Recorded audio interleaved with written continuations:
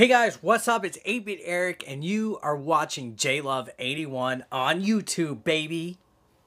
Boom.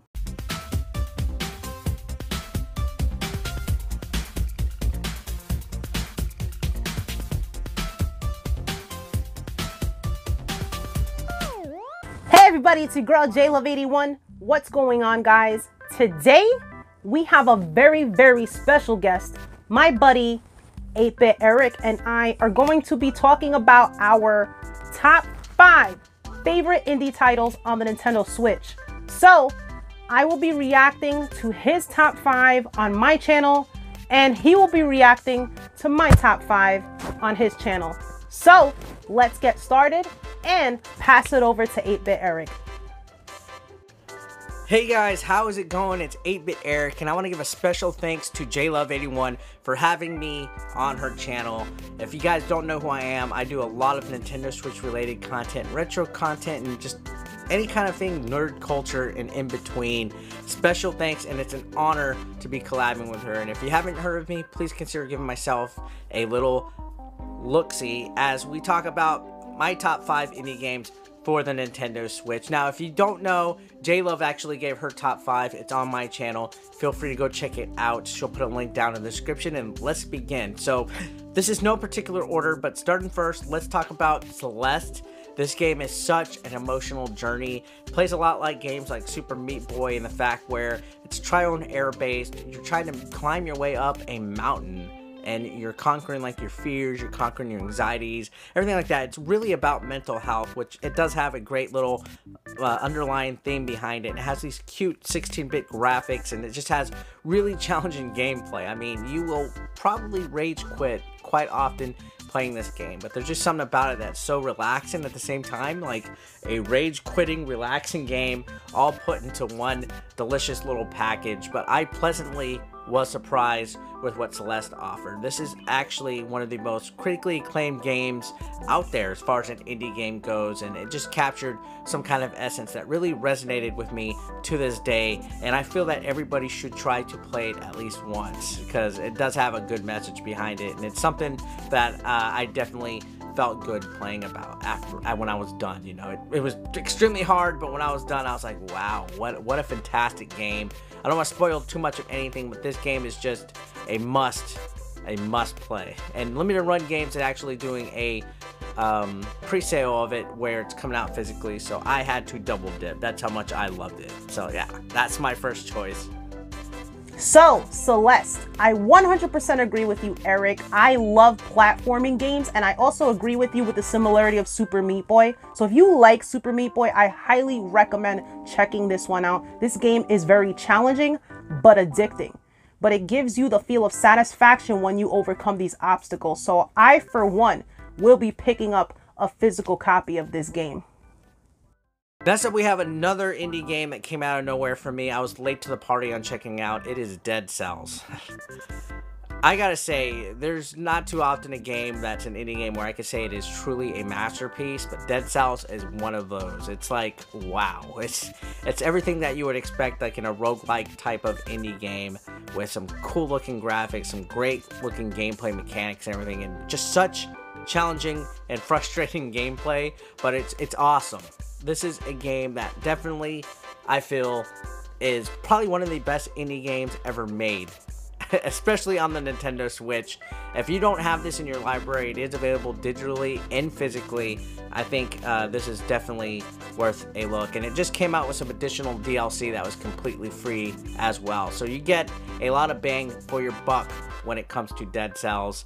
Uh, there's not enough that I could say about this game other than it is amazingly good. Like, I, I don't want to ruin anything with Dead Cells except to tell you guys good luck, have fun, and you're gonna get addicted to it. one of the easily one of the most addictive Nintendo Switch games out there, and it's a highly recommended indie game. Bar none. I'm telling you guys right now, you will not regret playing Dead Cells for the Nintendo Switch. So Dead Cells I have not quite picked up yet. I've played it on my friend's Switch, my coworker Switch, and it is extremely challenging, especially without checkpoints. That's what makes it so tough. But as frustrating as it seems, Eric, you made me want to pick this one up, even though I know it's going to piss me off. I will be picking this one up. Uh, next up, Enter the Gungeon. This one I actually previously played on Steam and PS4, but it's also out on the Nintendo Switch, and it's going to be getting a physical release coming up rather soon, I believe in the month of August. This is kind of like a bullet hell like arena inspired type of video game. Uh, it has multiplayer aspects and everything, and it has so much fun behind it. Like, this is one of those games that you hear people talking about all the time. Like, almost every single live stream that I do, I hear somebody saying, Hey, Eric, have you played Enter the Gungeon yet? Hey, you should play Enter the Gungeon. Yes, I've played it. Uh, I've played it plenty of times, and this is one of those perfect types of games to be coming to the Nintendo Switch. And I'm glad that it eventually got ported over because I feel that it doesn't get enough love. It's like one of those games that has a cult following behind it, but you never really hear anybody talk about how really great it is. And when I was told that we were going to be doing a top five indie games, Enter the Gungeon was one of the first games that popped up into my head, and I was like, yo, I gotta give this game some proper love, some proper props. Proper props. Hashtag proper props. Because Enter the Gungeon is just such a spectacularly wonderful game. And what can I say?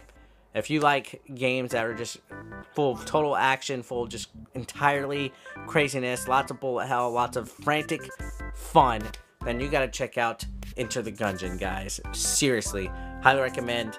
Another game that I'm gonna double, like all these games I'm talking about today, I am double dipping on, digitally and physically.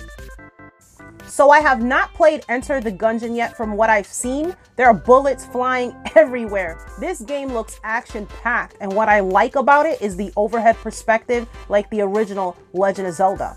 And the best part is it is 15% off right now on the eShop. So that's my cue to pick this one up. Oh, my next game, Shovel Knight. This game has actually been out for quite some time. It's been ported off of like everything since the Wii, Wii U days.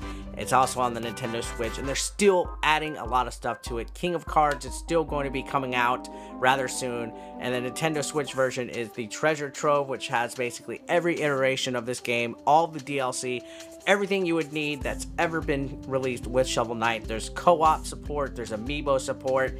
Shovel Knight on the Nintendo Switch has so many features, so many unlockables, so much content that you can sink your teeth into that it is a must-have. And to this day, there's been so many great indie games come out throughout the years. Shovel Knight still holds up. It still holds its own across it. I mean, it has an amiibo. He's in Smash Brothers. He's featured in all sorts of other games. It's just amazing how much this little game from Yacht Club Games has really done. I mean, Shovel Knight to this day, one of the best games I've ever played. And definitely, if, if you haven't played it for some reason, get it. It's like a mix of Mega Man with a little bit of Metroid. You know, everything that I like about NES games and anything retro has been kind of paid tribute to in Shovel Knight. So go get it. Go play it.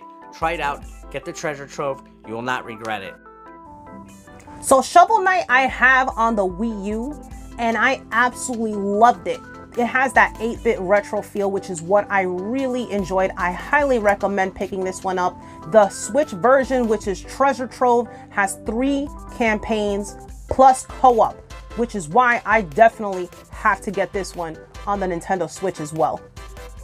And last but not least, Cuphead. Yeah, this came out late to the party on the Nintendo Switch. Microsoft and Nintendo have been working together and we benefited from it because Cuphead is now out on the Nintendo Switch. This is going to get a physical release later on this year, but I picked up the digital version as soon as it was released because I didn't experience it on the Xbox. But this is like a platforming game where you play as Cuphead or Mugman, and your goal is to defeat and take the souls, kind of evil, to uh, of all your enemies, all these bosses and everything in order to kind of like save yourself because the devil's after you. It has a 1940s cartoon vibe, kind of like Betty Boop and Popeye, you know, like the Max Fleischer type of cartoon stuff.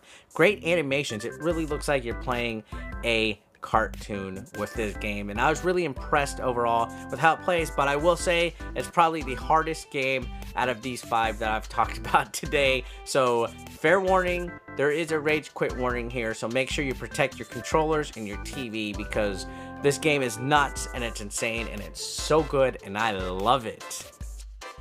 So Cuphead is the run and gun action game that I've been looking for. I have not picked this one up yet because there's a rumor that a physical release is coming out this year. So I am waiting for that, but I am growing extremely impatient. I am dying to play this. I've seen a lot of people stream this already. It definitely looks challenging, but I look forward to playing this game. Thank you for joining me, Eric. I highly appreciate it. Guys, check out 8-Bit Eric if you have not done so already. A link will be in the description below. Check him out. He is one of the reasons why I started my channel and has encouraged me along the way. So yeah, that was it for my top five indie games, guys. Um, special thanks for having me again on here, J Luv. Subscribe to J Luv if you're from my crew, if you're from my 8BE Nation, you've never seen J Luv before. Please throw a subscribe, and if you haven't seen me, throw me a subscribe, and hopefully we'll do some more collaborations like this in the near future. Thanks a lot for having me again. I'll see you on the next one. Have a great day. Peace out. All right, guys. So thank you so much for joining us. I highly appreciate that. Let me know in the comments down below what your favorite indie games are on the Nintendo Switch. And remember to promote positivity, and I'll see you guys later.